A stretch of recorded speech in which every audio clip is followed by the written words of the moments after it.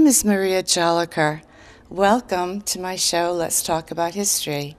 I'm here today at the Otis Library where the New London the New London Historical Society is going to have a lecture on Frances Caulkins. Nancy Steenburg, PhD, will be presenting the lecture. So we'll watch the lecture, and I hope you enjoy my show. Thank you.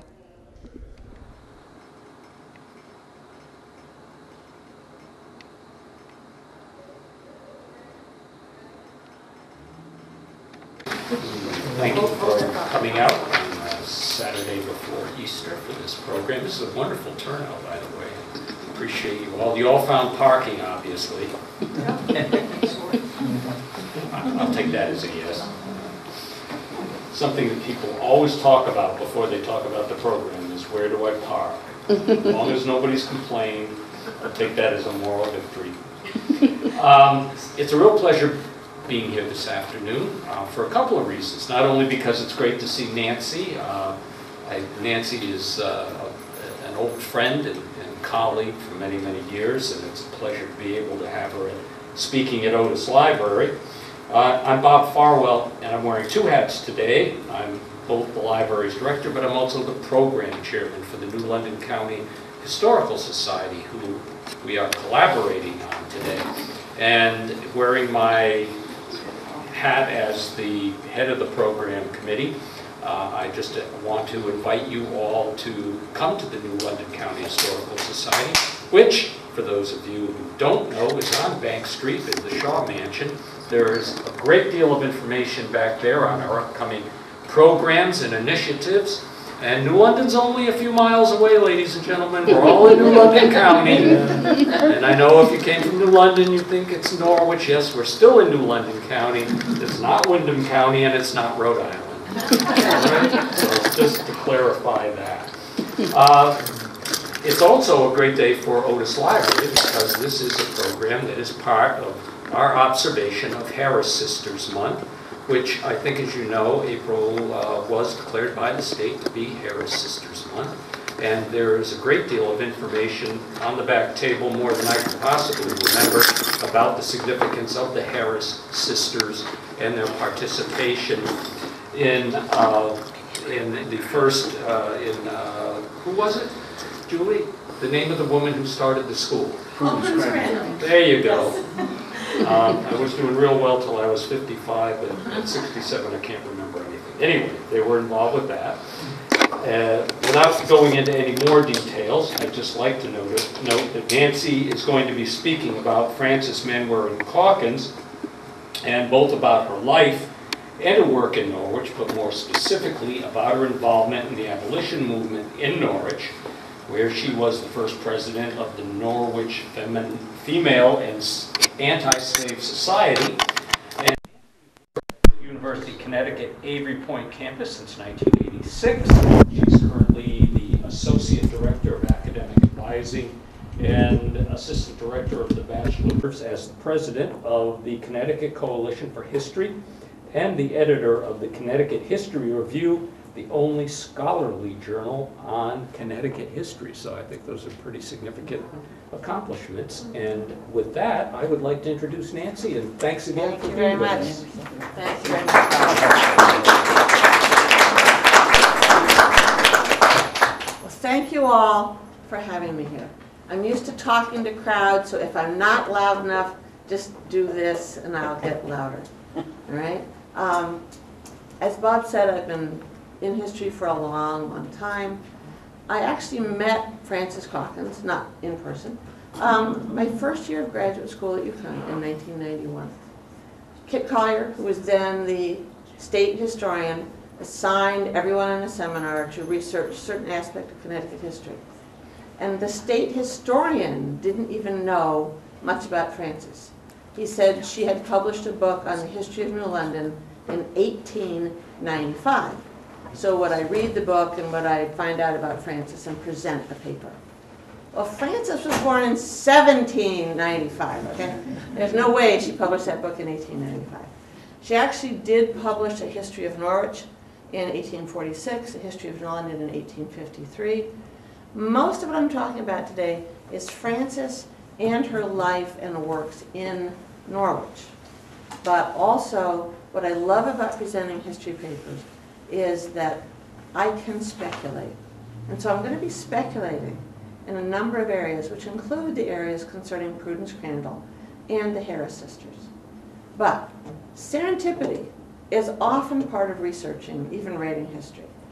Historians toil in archives, they seek little tiny bits of evidence, a piece of paper here, a signature there. They're looking for evidence that brings the person to life, they're looking for evidence for why that person was significant.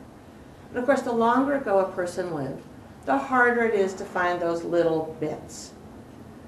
I started researching Frances back in literally 1991. And I've published a couple articles about her. I wrote the introduction for the reissue of the History of New London and the History of Norwich. And at the time when I wrote that, I pretty much had done all the research I thought I could. Um, Frances herself was an inveterate researcher. She delved into town records, diaries, letters, gravestones, oral histories. She met and learned the language of the Mohegans and the Pequots. And she created 25 books of pronouncing gazetteers and dictionaries of Mohegan and Pequot language that the tribes have used to reconstruct their languages.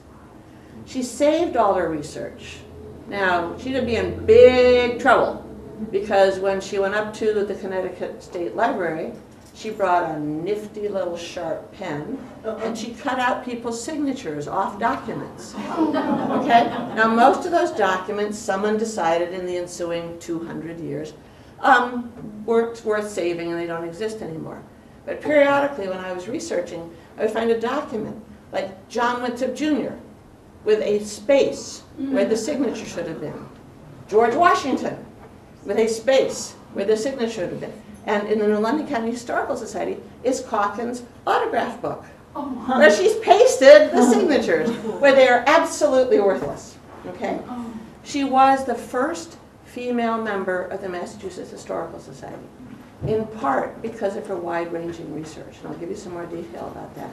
She was elected a corresponding member in 1849. She was the only female member of the Massachusetts County, uh, Massachusetts Historical Society until 1966. Okay? That gives you some measure of how the white Harvard-educated members valued her research back in the 1840s. Now, in reconstructing, researching Caulkins' life, I found she was more than a researcher. She participated in many activities that defined what was known as the women's sphere in the 19th century. Um, she supported her mother and her sister and her half-siblings by teaching school for more than 20 years. She was a prolific contributor to the American Tract Society. Um, and as I'll detail, some of her tracts ended up in, in Singapore and in India in press runs of 800,000 copies. That's how important the Tract Society thought her writings were. She was the first and founder of the Norwich Female Anti-Slavery Society. Um, but she also was the longtime secretary of the New London um, Seamen's Friends Society, which was a society that tried to provide help and assistance to the families of New London and Norwich seamen and to the sailors themselves if they came home. She was a poet. She wrote hundreds of poems. Some of them are really bad.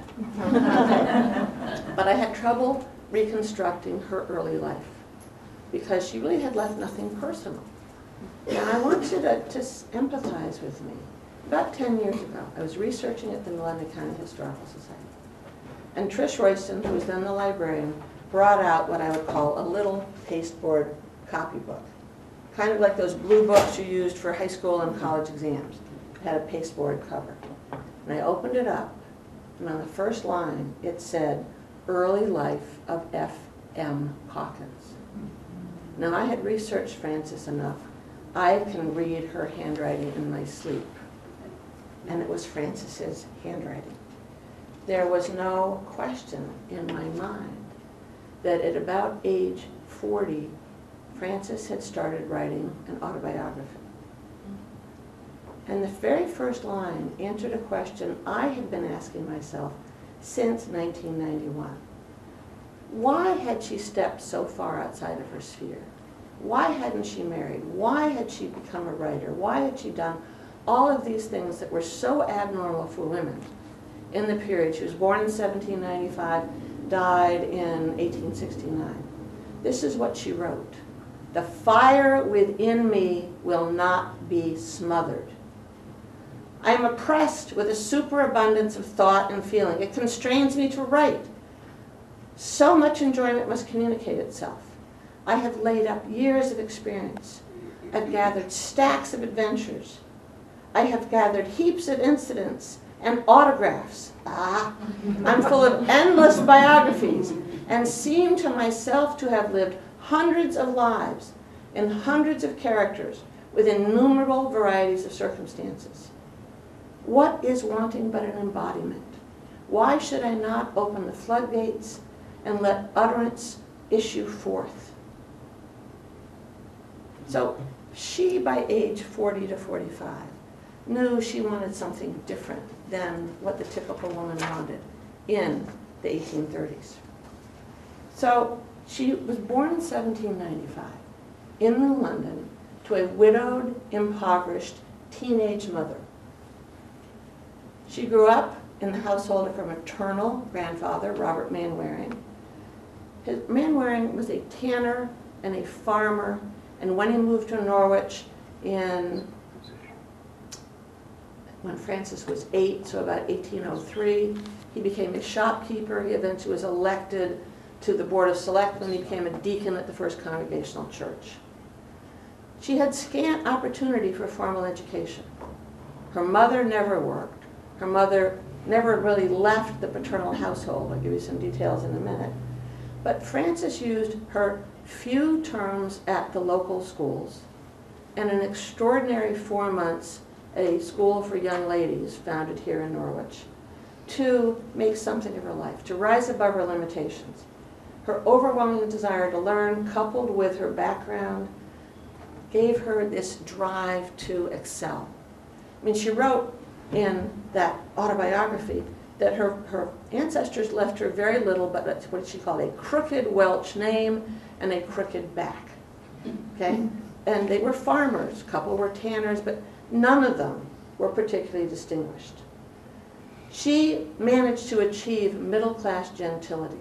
She managed to become a historian whose books are still valuable, that people who want to know about the early history of Norwich and New London, they go straight to Frances's books. She was inspired to achieve beyond the level of the typical woman in 19th century America. She supported her widowed mother, her siblings, herself, um, for 14 years as a teacher.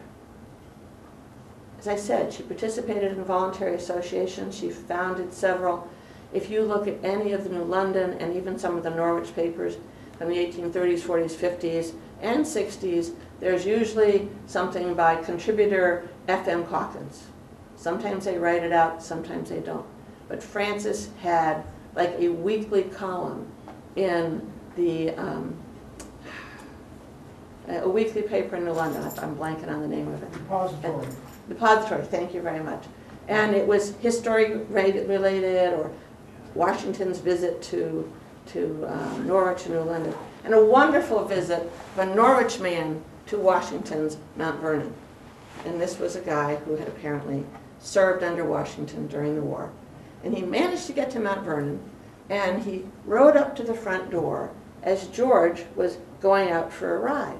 And he introduced himself to George. And George said, Oh, I remember you, yes. Come on in and have breakfast. Man went in, George went out on his ride, never talked to him again. okay? But um, she found all these stories. Um, her intelligence was notable. She wrote in that autobiography, I have no recollection. I forget I have a PowerPoint, sorry. I have no recollection of being taught to read, spell, sew, or knit. It appears to me I was always acquainted with these mysteries. Well, think about it. I remember the day I learned to tie my shoes, sitting on the stairs of my house. I don't remember being taught to read, but I do remember not knowing how to read. And here's a woman who said, I don't even remember being taught. It's like she was born reading. She recalled that she attended a one-room, she called it country school in New London. This is before she was seven. She actually was like four or five. And um, the older student sat at the front of the room. And these were the 18, 19-year-old, she called them the um, broad-shouldered lasses and, no, sorry, broad-shouldered lads and buxom lasses, who during the winter would go back to school for a couple months to try to, you know, fulfill the shortages of their education. And the schoolmaster one day challenged the front row to spell bosom. Front row, can you spell bosom? Well, New London was a maritime community, and every single one of the 20 older students, because he went row to row to row, spelled it B-O-S-U-N. Okay? So the schoolmaster put him to the back row, where what Frances called the abecedarians sat with hornbooks and picked up what learning they could. And he brought little Frances to the front row, and he stood her in front of the class, and he asked her to spell the word. Clearly and accurately, she spelled it out B-O-A-T-S-W-A-I-N. The teacher then placed her in the front row with the older students. He, she said, to shame the older students rather than to reward her success. But in retaliation, the older students called her master's baby for the rest of the term, an early version of teacher's pet. Now, she took full advantage of her access to education. Her half-brother wrote that she would come home every day after school and write out her lessons on scrap pieces of paper. She read the Iliad and Odyssey before they moved to Norwich when she was seven. She began to study Latin. She also read many of the English authors of the 17th and 18th century because Robert Manwaring had a fairly good library. Now, Frances was intelligent, but she was also fortunate. By the 1790s, Americans had a new idea about education. Many people in the United States had come to believe students needed to learn Republican virtues. And that the best teachers of those Republican virtues were not Yale graduates with a big whip who beat the kids' knowledge into their heads, but that women would be better teachers to inculcate values of honesty and loyalty and patriotism. Education for girls became important to teaching and preserving Republican values. Who was in a better position than mothers? It meant that the education for girls expanded. In the 1790s, if girls made it past much about third grade and their families could afford it, they learned how to paint miniatures on ivory, to paint flowers, to do you know, fine needlepoint. They did not get anything else than that. Now, Caulkins moved to Norwich at age eight, following tragedies and disasters in her maternal grandfather's family. She arrived near the First Congregational Church in Norwichtown at night, in the middle of a thunderstorm, because her grandfather was moving into a house next to the First Congregational Church. So the first time she saw her new home was the next morning. Next to the house was a gigantic elm tree. And high up on the hill behind the church, and that hill is still there, was a massive chestnut tree. And she recalled thinking, Norwich, Norwich must be a very ancient place. These trees are Indian kings. The very next day, Caulkins met Nancy Hyde, a young woman who was very influential. I keep forgetting I have the PowerPoint. I want to talk to you about this. This is Frances's first publication. About 10 years ago, I got an email from someone in Maryland, and she said, I just bought needlepoint at an antique auction, and I've been researching it, and it's the Frances Caulkins, and I apologize, this is through glass. The woman has said when I finally write the book on Frances, she will take it out, have it professionally photographed so I can use it. Doesn't make a great PowerPoint, but the bottom line says Frances M. Caulkins, New London, Connecticut. Okay? Um, 1802, I think. Um, and so Frances created this, again, this young woman who said she could never remember not knowing how to sew, not knowing how to write, not knowing how to read. Um, that is supposedly the Robert Manwaring House on Manwaring Hill in New London. I've seen pictures of the Robert Manwaring House, which was disassembled a number of years ago. And it's, it's a four-square colonial with entry doors on all four sides. And it was on Manwaring Hill. So she did a picture of the specific house, she did the alphabet, she did the numbers, and it's an amazing piece of work for a seven-year-old girl. Um, But then going back to Nancy Hyde. Nancy Hyde was about four or five years older than Caulkins, so 12 maybe. Um, And she became a friend and mentor to the young Frances. Was kind of lost in a household that consisted of five of her aunts, her mother, um, two step uncles or half uncles, because her first grandmother had died, her father had remarried, the second wife had died after giving birth to a son, he remarried again when he moved to Norwich. That wife died and giving birth to another son. There were something like nine children in the household. And Frances later said she had the curvature of the spine because she was always walking around with a baby on her hip when her own bones were still forming. But Nancy Hyde took her under her wing, taught her various dances, um, had her inc- included in little plays that Nancy Hyde and her friends put on, supplied Frances with books, encouraged her to write, encouraged her to draw. Caulkins wrote that Hyde's genial companionship, she's like seven, eight years old, opened doors in her mind and heart, giving her the first glimmerings of the idea that a girl could be more than a daughter or a mother. So Frances was extraordinary as a young child. And as I'll talk about in a few minutes, Hyde was critically important to Frances's later education. Frances wrote of her early years in Norwich with affection, calling them the most exciting, care-forgetting portion of her life. She said her days had been cloudless except for some ill health. Um, she said, I had my daily tasks, my lessons at home, my walks, my books, my evening, evening visits, my sports, and my letters to write. We had our parties, our beaux, our games, and our dances. We invented novels, improvised speeches, and presented dramas. With her companion, she did the activities of childhood, sliding and skating, gathering flowers, picnicking, gathering berries and nuts, and what she called sailing on the Yantic River. Okay? She said that when the stream was high, they would sail, use that in quotation, on the river. One of the boys would sit on the bottom of a plank that had washed down the stream and paddle it with a board or with a paddle. And the girl would stand on the front of the plank, okay, and assume poses, holding a bouquet and balancing with arms. And so that is why I had that other picture. But Frances lived near the First Congregational Church. She had a hair's breadth escape from the Yantic while she was living near the First Congregational Church. On July 4th, she went with a group of her friends to a picnic ground on the opposite side of the Yantic. To reach the picnic ground, they either had to walk two miles around to a bridge.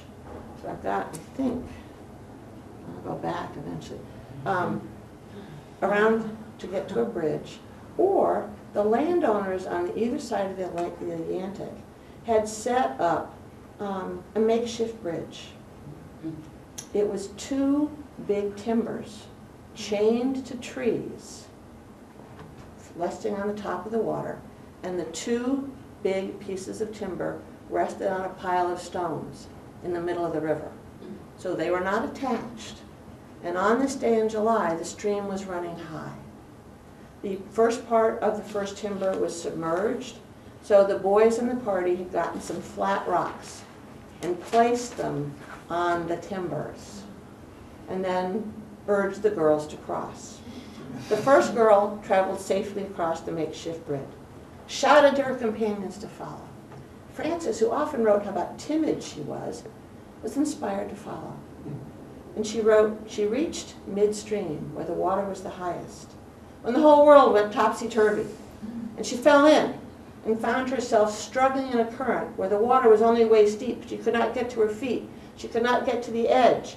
She could hear her sister and the other girl shrieking in fear. And she was being swept down the river. Fortunately, one of the boys jumped in and put his hand out and grabbed her and pulled her to shore. She wrote, the near disaster didn't stop the party. She went home to change into dry clothes, and she and her rescuer led the first set of dances. Um, so sometimes she was brave. Um, despite the economic challenges faced by Caulkins' family, at age 16, she had one of the most influential events in her life.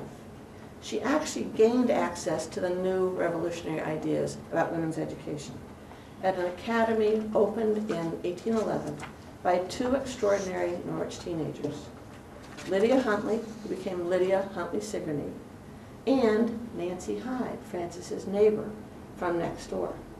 Both girls had suffered through the genteel education made available to girls prior to this idea of Republican, motherhood Republican education. They were determined to provide a different kind of education for girls in Norwich.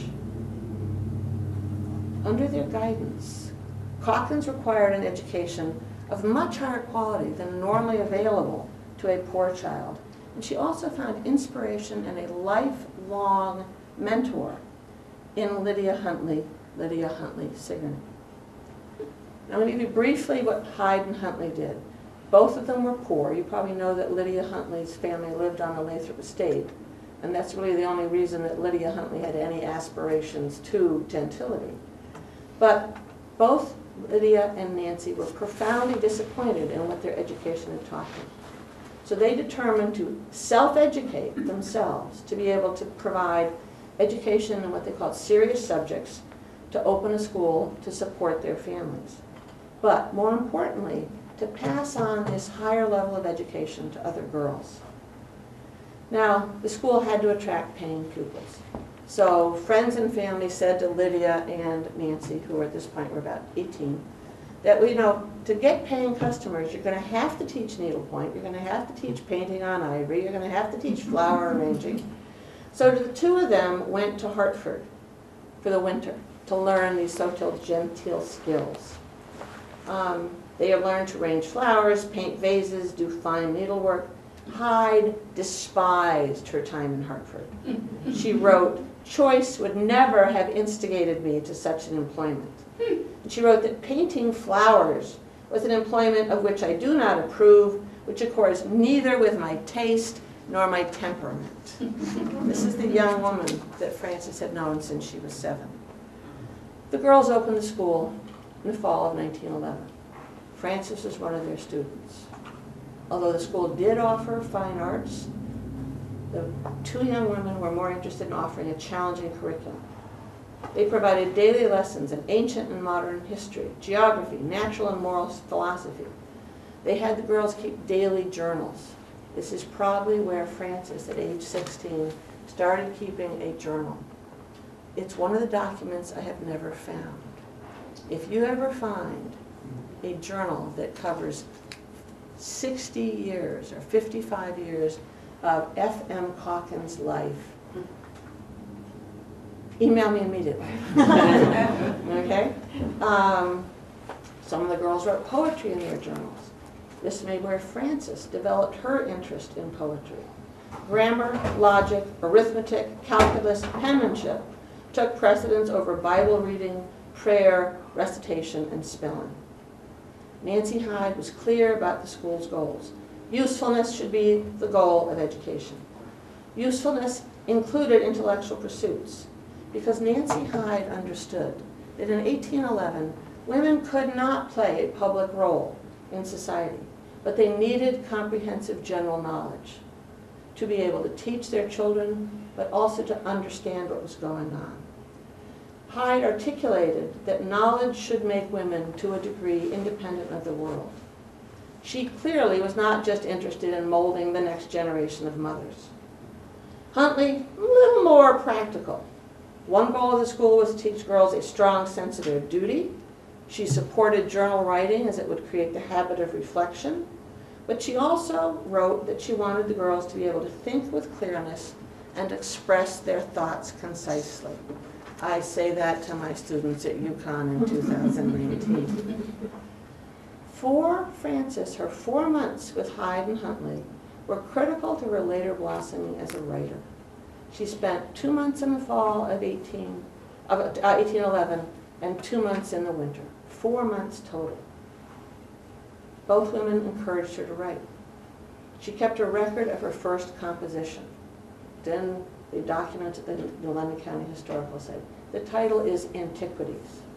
Considering her later fascination with history, the title is revealing. She valued her time with Huntley and Hyde, saying they later taught, saying later they taught her to love learning for its own sake. She wrote of the dove-like days, the diligent, earnest, mind-expanding group of students at the school. She remained lifelong friends with Huntley, even after Huntley moved to Hartford and married Charles Sigourney. Lydia Huntley published a collection of her own essays in 1815. The school closed very quickly, by the way. And Lydia included her own poems, but also some of the lectures she had delivered to the girls. And at that point, a woman publishing a book didn't just go to a publisher here and say, the woman had to raise money by subscription. And in the book is a list of subscribers, and Frances is in there for the sum of $1. Okay? Nancy Hyde died in 1816, and Lydia Huntley raised money to, to publish a collection of Hyde's writings, including Hyde's prose and poetry and journal. And she also asked some of Hyde's students to write about their experience with Hyde. So Huntley asked Frances Caulkins to write about Hyde. Frances had always felt a special kinship with Hyde, not just because of being neighbors, but Frances's father died before Frances was born. Frances's father worked for his father-in-law, and he had gone to Port-au-Prince with a load of sheep hides and shoes to sell in the West Indies. He died of a virulent fever and was buried in the Strangers Cemetery in Port-au-Prince. And Frances wrote, as though she'd been there, although she was still in utero, that her mother was on Manwaring Hill, which without trees in New London, you can see all the way down to the mouth of the river. And she saw the sails that looked like the sails of the ship that her husband was on. And she'd been expecting him back daily. She was about four months pregnant with Frances. And she had a two-year-old daughter. And she watched the ship work its way up the river. And then she saw her youngest brother-in-law kind of come in and stand next to her. But he didn't approach her, and he looked very upset. And he had to deliver the news that Joshua Caulkins had died in Port-au-Prince. So Fanny Caulkins, sorry, Fanny Caulkins was 19 years old when she gave birth to her second child. And Frances never knew her father. Nancy Hyde's father had died at sea when Nancy was young. So Frances felt a special affinity for Nancy. And she wrote a maudlin poem, typical of the maudlin poetry of the area. The poem is called Lines to the Memory of Miss Nancy Maria Hyde. The poem outlined